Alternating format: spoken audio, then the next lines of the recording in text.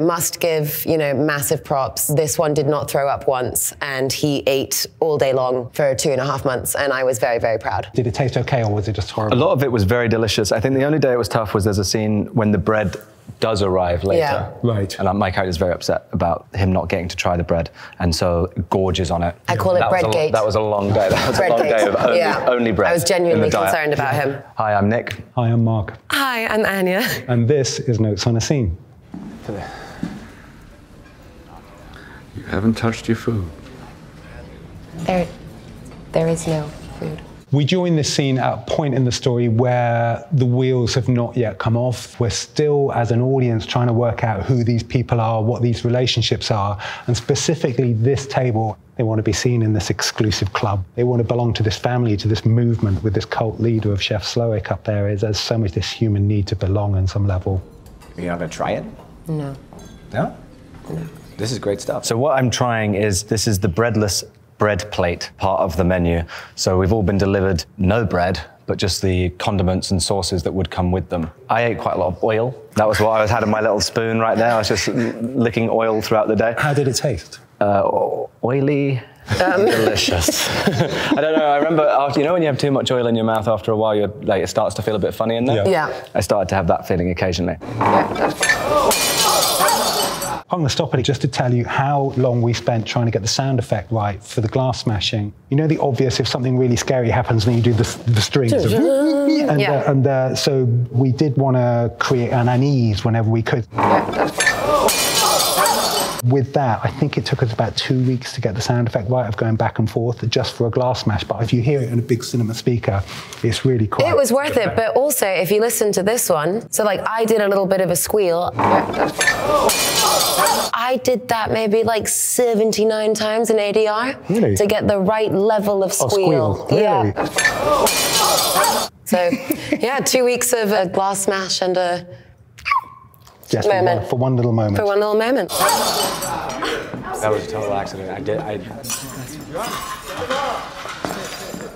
we were in the edit with Chris Tellefsen. I wanted to be kind of over Chef's shoulder when, when he comes down to and, and experience that fear of like when the head teacher is coming over to your table. But it was all lasting a bit too long, so I wanted someone to foreshorten it, but I didn't want to do it to interrupt the moment. And then Chris found this little look from Paul. If you just keep looking at stuff I didn't even notice on the monitor uh, on the time, you mm-hmm. just find little nuggets of gold that everybody was given all the time. And Paul just gave me this lovely little kind of teacher's pet look. Perfect. You know, you're in trouble with the teacher, and I just loved it. And it's interesting also because the way that this restaurant is set up, we, the diners, are in our own little worlds at each table, but we are all out there on a stage. Yep. And then you've got Chef Slowik's, wherever he walks, all heads turn, and he is presenting from his own stage. So it mm-hmm. really is all performances within performances Yep. within pretension. I remember saying to Mark, I feel like I need to have my back to Chef Slowik because that's the way that I feel about it, and he should be a presence behind me, and it's a choice. The back problems I now have from twisting into this S shape so I could look at Rafe. Because also, when Chef Slowik speaks, it's a monologue, so I just hold this position and be like, I'm fine. I still maintain it was a good choice. It I'm was, still, it was a I'm still fantastic like, choice. Um, could have just shuffled that chair around a bit. I know, I know. I'm so sorry. You haven't touched your food. There, there is no food. I love Margot very, very much because she is the character that I've played that's the most comfortable in their skin. I've never been a particularly passive aggressive person, and I deeply enjoyed being like passive aggressive. And so on this, I'm just going to write um, sass level 1000. I'm just going to keep writing those. Yeah, let's You go. can, you can feel how much you're enjoying it, and the, the character is enjoying the moment. There is no food. Well, no, this is food. So um, lots more food to come. Don't want to fill up. That would not be possible. I've precisely designed the portions to account for that, so.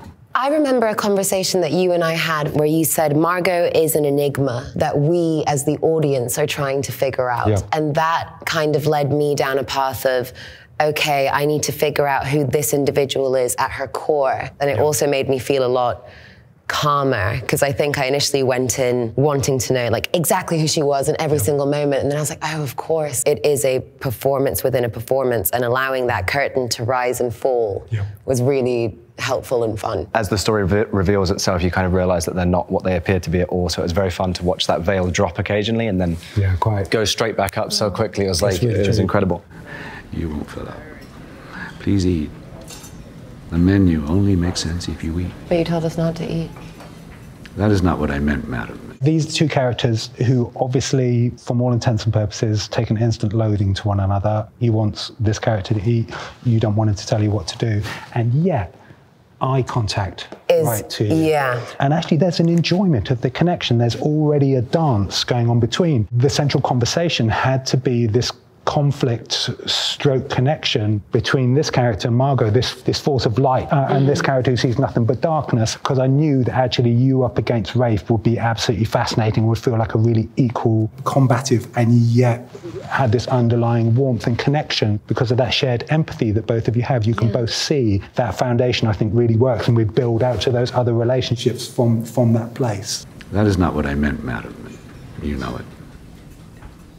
Well, thank you for your concern, but I am perfectly capable of deciding when I eat and what. There's a joint empathy because they both work in the service industry. I think both of us enjoy our scenes together, but I think the characters weirdly enjoy discourse because there's a massive part of Chef, I think, that wants to be told no. Yeah. Or that wants Yeah. somebody that's not just, you know, following everything that he says all the time. And potentially she's been holding her tongue for a little bit. And so having somebody to just immediately be able to be like, no. and an Good for her intellectual, an intellectual equal. Yeah. Also, perhaps that Chef also feels seen by this character. Something he's such a commodity, such a badge of honor. I am perfectly capable of deciding when I eat and what. Some wonderful acting from Nick Hoult right there. Oh, no, that's, that's me going, I'm embarrassed. This isn't going well. Oh, That's no. just like, and the dream Little has just eye. Oof, shattered. this is awkward. The fact that you're defying him, he's my hero. I just want everything to go smoothly. Say, and him to take me dear in God, and be just- like just close eat- friends just forever. drink the oil, And the fact that um, you're not playing his game suddenly is yeah disastrous for me. the worst date. Can we to go back to Rafe and just Yeah. be like how he manages to be so warm and intimidating and look straight through your soul all at the same time Yeah. is incredible Yeah. to watch. His approach was also kind of mon- monastic, you know, that he's this mm-hmm. kind of monk in his art form. A good 90% of the performance is in that just meticulously everything is perfect and smooth. It's like I would love to have a, a little kind of bedtime story from Chef Slowik. 'cause it would Yeah, put me to he's at every peace. Yeah, yeah, exactly. Thank you. That little thank you that I gave just before he walked off. Thank you. I remember doing it and thinking, oh God, Ralph Fiennes is going to think I'm an absolute brat because that was not scripted. And I was just like, oh God, oh God, oh God. But I'm, I'm glad you kept it in because that meant that it worked. it's fantastic, and yeah. Yep, so thanks, thanks for that. Christ, that was humiliating. Humiliating. Yeah. Tyler, the guy's a prick. He goes and um, has a deep moment with uh, Mummy.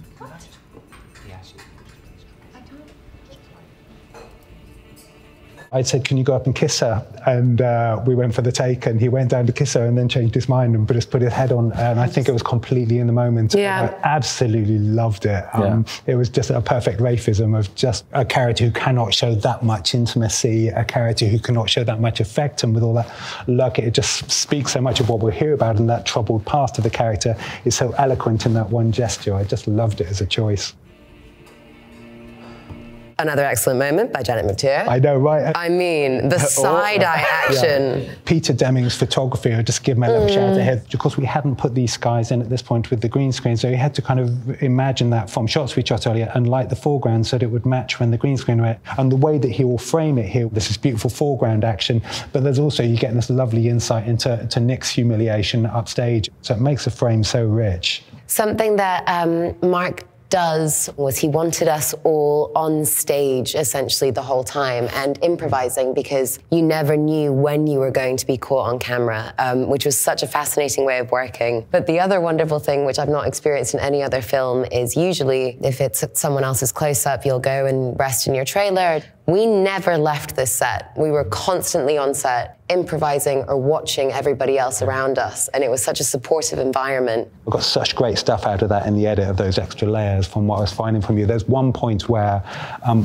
where the camera is primarily over with Amy and John Leguizamo's characters, and yet I've got the two of you in the background, and I'm just seeing this dynamic of the two of you having the most lovely date, and just connected. It's one of those things where if you just rack the focus and see that going, you think, oh, they look, what a lovely young couple they are. Well, I mean, so we we committed to the improv like pretty hardcore the first couple of days, and then there was definitely a certain point where like Nick, take it away. Well, ultimately, we were like, we couldn't continue to improvise that deeply. Then we just started kind of getting to know each other through improv stories about the characters that would be partially true, but then also partially false. So you'd yell cut, and then mm-hmm. we'd say, okay, I think this bit was true. I think this bit was a oh, lie. I think this bit was fabricated. I think whatever, and we got to know each other. You all played Balderdash on camera. Kind of, That's fantastic. yeah. There was there was one day when it, was like I remember telling you a story about being force-fed like Oh, yeah. cheese or an onion as like as punishment as a child, and this is why I don't like cheese anymore because it gave me nightmares. But I can eat an onion like an apple and just random. Yeah, like You'd we- be like, what it's- is going on in your we life? know each other to I'm a like, oh, very that's not me, bizarre don't worry. degree. Is that true or false? That's false. Yeah, That's false. Yeah, it don't worry. wasn't- I'm not like revealing my. uh, Inner trauma.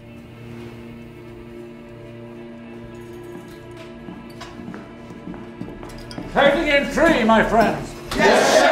Uh, all the actors that played Yeah. all the chefs were incredible in their ability to kind of be so intimidating, kind of soldiers of, of chef. You had them do training. It, Well, it was yeah. all chore- like choreographed faultlessly. Yeah, we had this one week boot camp with, you know, Lauren Candela, our second AD, and John Ben Hayes, in our local brilliant chef from, from Savannah, and also overseen by Dominique Crenn, of course, you know, three Michelin starred, you know, literally the only woman in America still to have three Michelin stars. Getting that kind of uh, backup in the kitchen was a massive thing for me to, Yeah. to make sure we had that authenticity. Literally everything they're doing is completely correct for, for whatever course is being prepared. Interestingly, I don't think any of us necessarily describe ourselves as foodies, but I do. I do remember. Um, we have really hard jobs. You know, we have to watch uh, Chef's Table and, and go to nice restaurants as research. um, but I remember when Dominique came on set, all of us were really starstruck Oh, yeah, because true. we'd been Yeah. obsessed. We're like, She is a rock star as well. Don't, don't mess it up, Yeah. don't mess it up. Something that I thought was really interesting about how we're such ritualistic creatures, and that was something that you talked about a lot at the very beginning, where it's like we do not switch tables. Even when we leave, when something shocking happens, we stay in our position because that's our only grasp of familiarity, or it makes us feel safe. There were so many, um, you know, psychological studies on that where when things become threatening in this restaurant, there's so many studies backing it up that given the choice of can you believe that something is really bad could be happening here, or do you just want to pretend it's all, you know, all a show? Yeah. Every, you know, nine out of ten people will just go, it's a show, and choose to believe that as a, you know, rather than face up to an uncomfortable truth. I think we get saved in these movies when they get dark because Mark hired very kind, wonderful people. So it's quite shocking when staff or the chefs will look so serious and then they yell cut and it's like, so how's your book? Like, how are you doing today? Are you having a great time? And I'm like, you're terrifying, but like, yes, okay, all good, all good.